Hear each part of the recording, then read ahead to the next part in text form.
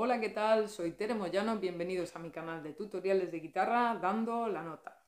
En esta ocasión para enseñaros a tocar un bolero, otro bolero más de los que ya tenemos en el canal, que hay varios, ¿vale? Em, este tenía muchas ganas de subirle desde hacía bastante tiempo, ¿vale? Pero bueno, se quedó parada la cosa de subir tutoriales y hoy reenganchamos con este, ¿vale? Envidia de los hermanos García Segura. Yo sobre todo lo he escuchado interpretado por Antonio Machín en esta casa, en mi casa también se escucha mucho una versión que hay de los abandeños que es muy bonita, ¿vale? Y digo, vamos a retomar porque en esta ocasión no voy a tocar y cantar sola, sino que me acompaña María Moyano, que es mi madre, ¿vale? De nuevo también en un tutorial, vamos a cantar y a tocar juntas. Como siempre, primero lo tocamos y lo cantamos y luego lo explico. Envidia de los hermanos García Segura.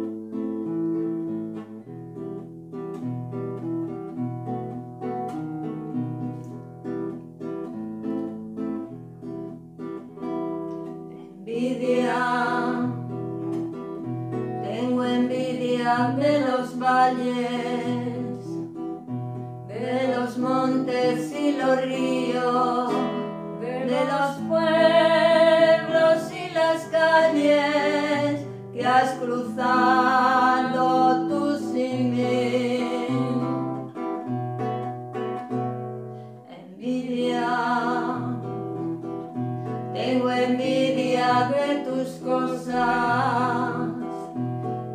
envidia de tu sombra, de tu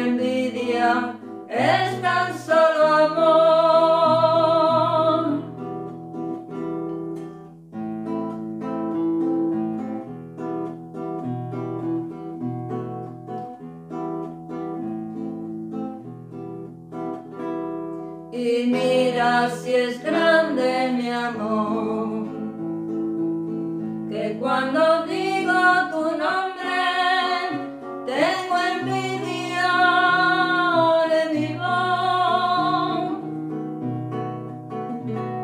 Envidia, tengo envidia del pañuelo, que una vez secó tu llanto. Y es que yo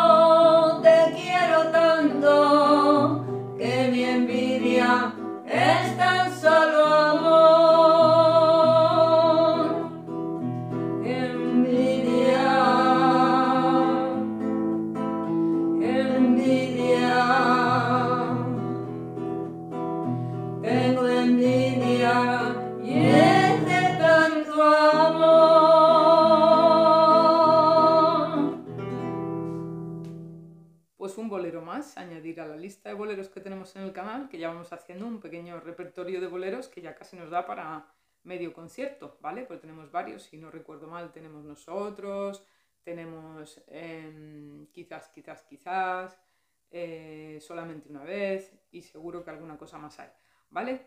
Em, como siempre, mm, recordaros que en la descripción del vídeo tenéis un enlace al PDF con la letra y los acordes, ¿vale? Y, bueno, voy a pasar a explicar, primero os explico los acordes que tiene, que son unos acordes sencillos, sí que es verdad que hay una cejilla, un fa sostenido 7, pero que si quitara esa cejilla aparecerían cejillas en otro sitio, ¿vale? ¿Por qué?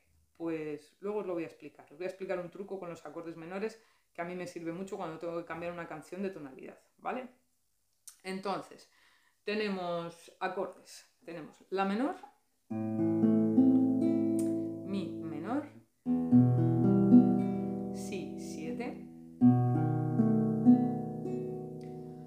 Re 7,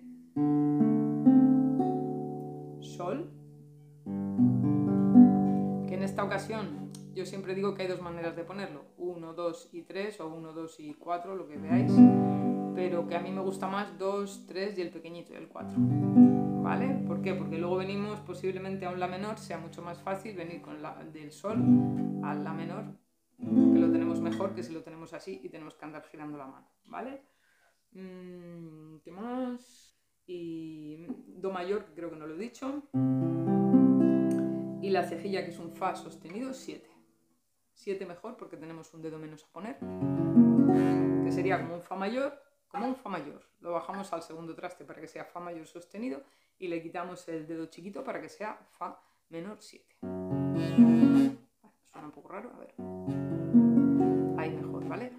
Apretamos, para que no haga las cuerdas, en vez de apretar con el dedo plano, intentamos apretar un poco como de costado, ¿vale?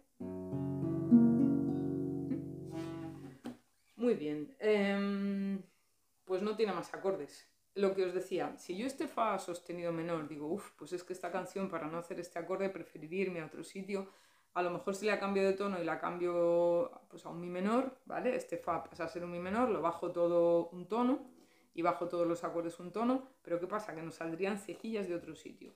Yo os voy a contar un truco que a mí me ha servido mucho a la hora de cambiar canciones de una tonalidad a otra, bien porque vas a cantar con una persona, con otra, o porque un día se levanta uno con la voz peor la tienes que bajar, o lo que sea.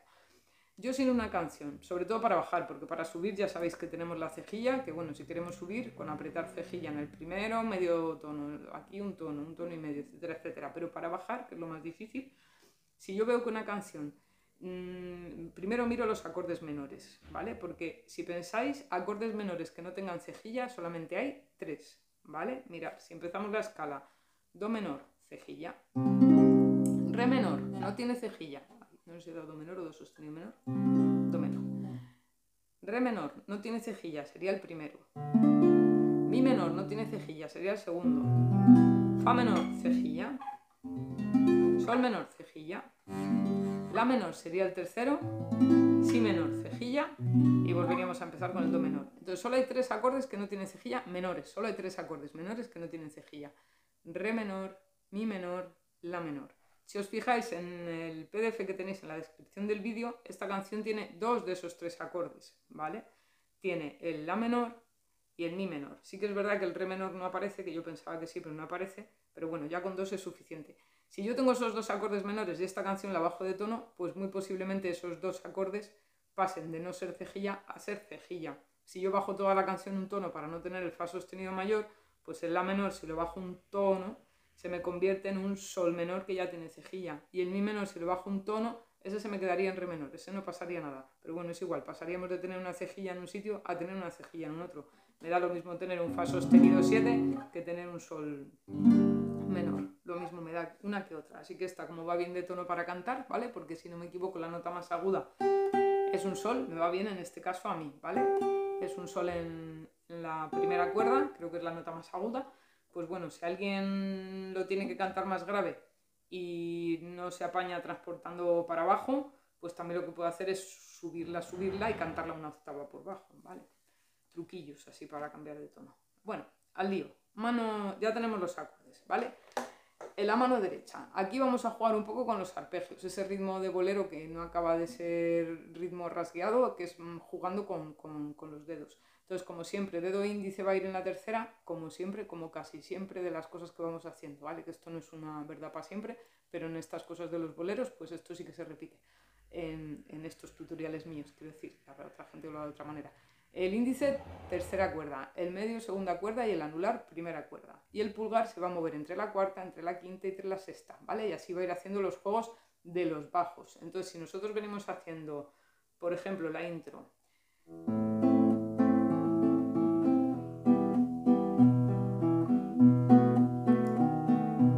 Si os fijáis todo el rato estoy haciendo pulgar, dedos, dedos, pulgar, dedos, pulgar, dedos pulgar, dedos, dedos, pulgar, dedos, pulgar, dedos. Lo que pasa es que este pulgar a veces hace en la misma cuerda,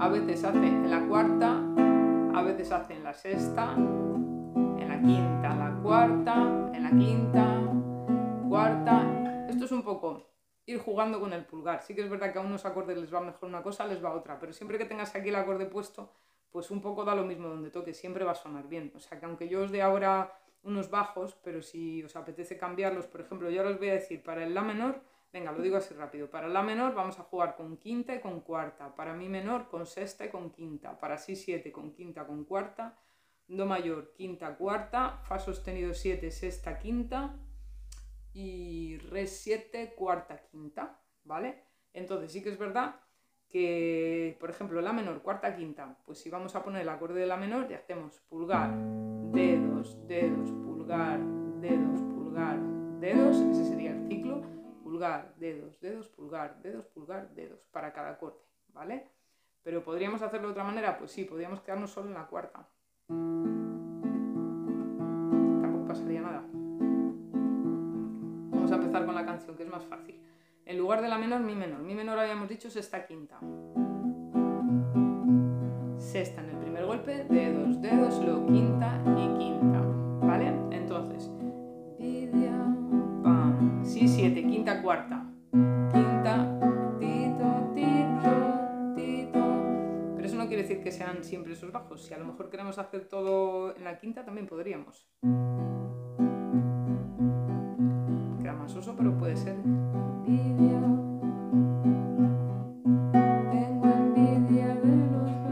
Bueno, aquí ya me he subido la sexta, ¿vale? Porque veis que va pidiendo la canción subir y bajar, subir y bajar.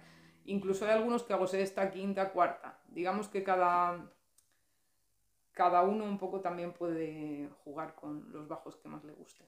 Lo importante es que el patrón de mano derecha es, yo tengo el índice en la tercera, el medio en la segunda, el anular en la primera y el pulgar va jugando con estas tres cuerdas. Ponemos el acorde que toque y hacemos pulgar dos veces los dedos, tirando hacia adentro, ¿vale? No tirando hacia arriba, sino hacia adentro de la palma de la mano, ah, sin tocar la palma, esa es la dirección que lleva, ¿vale? Pulgar dos veces dedos, pulgar, dedos, pulgar, dedos. Vamos a hacer la prueba. La intro, la menor, pulgar, dedos, dedos, pulgar, dedos, pulgar, dedos, mi menor, pulgar, dedos, dedos, pulgar, dedos, pulgar, dedos, si siete, pulgar, dedos, dedos, pulgar, dedos, pulgar, dedos. Vale, la otra opción es ir incluso rasgueando.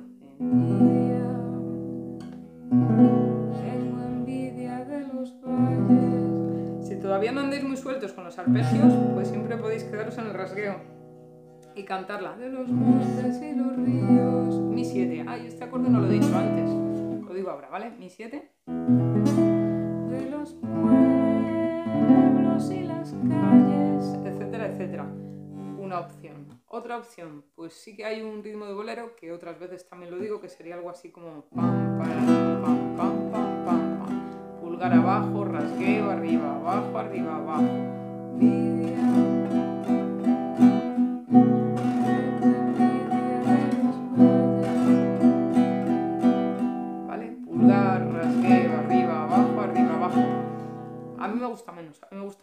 Arpegio, pero también es otra opción. Todavía no tenéis mucha soltura con el arpegio, pues también lo podéis hacer con ese ritmo, ¿vale?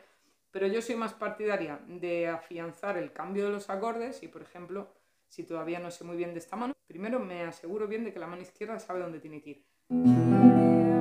Si 7, tito, tito, tito, mi, mi menor. Otra vez si 7, y la puedo cantar, ¿vale? Cuando ya lo tengo dominado, pues a lo mejor no canto y me centro más en esta mano y empiezo pulgar, dedos, dedos, pulgar, dedos, pulgar, dedos, ¿vale?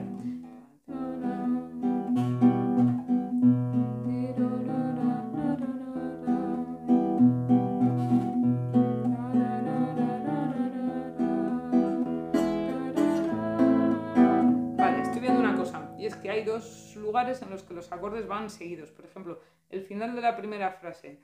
Mm, Los valles de los montes y los ríos. Tenemos un mi menor, los ríos. Y un mi 7, ¿vale? Ri, pam, pam, pam, pam, pam. Nos quedaríamos con la primera parte de ese ritmo. Pulgar, dedos, dedos. Y en la segunda frase, donde pone de los pueblos, también la menor, re 7, pulgar, dedos, dedos, pulgar, dedos, dedos. Digamos que el ritmo se puede dividir en dos partes. Pulgar, dedos, dedos, pulgar, dedos, pulgar, dedos. Primera parte, segunda parte.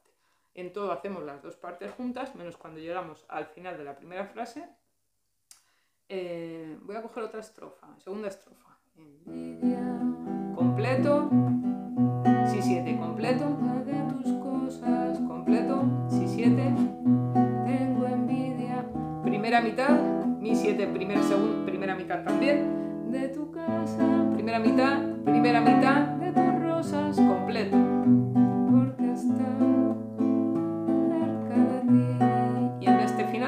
Los finales de estrofa pulgar de dos dedos nada más, pulgar de dos dedos, pulgar de dos dedos, incluso un rasgueo, ¿vale?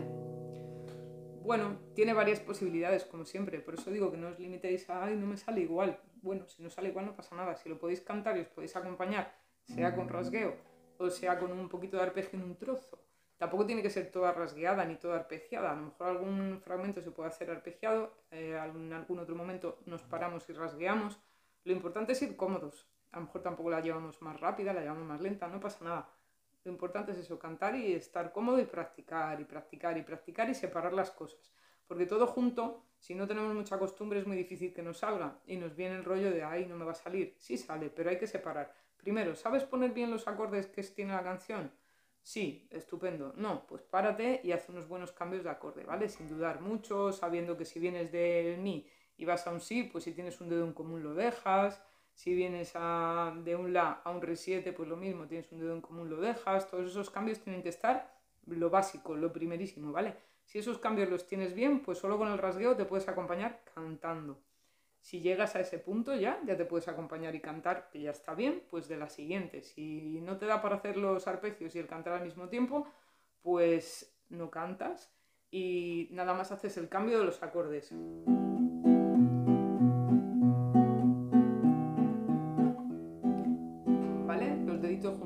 y tirando hacia adentro, sin tirar, sin hacer mucho aspaviento, ¿vale? Y yo creo que ya está, un bolero más para añadir a la lista de boleros y así vamos teniendo una, una playlist así pues chula por si queremos hacer una tarde de boleros. Vamos acumulando y acumulando y podemos hacer ahí medio conciertillo de boleros, ¿vale? Pues nada, recordaros que mm, si alguien está interesado en clases particulares, dejo por aquí mi correo electrónico y lo de siempre, que si os ha gustado y si os ha servido, pues que le deis a la campanita y que os suscribáis para que os llegue el mensajito cuando suba otro tutorial, que espero que sea pronto, ¿vale? Muchas gracias por todo. Chao.